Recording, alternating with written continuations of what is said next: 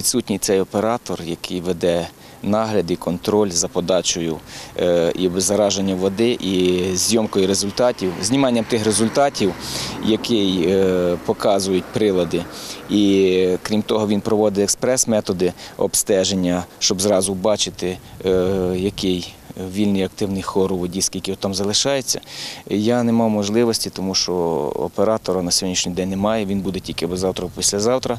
Е, Документацію по даному напрямку, якраз тих залів, я теж бачити не міг, тому що вона вилучена поліцією, вона опечатана. Що дві години буде робитися лабораторні дослідження, і після вже цих результатів, коли воно все вже не буде давати ніяких збоїв, тоді буде він відновить свою роботу цей заклад.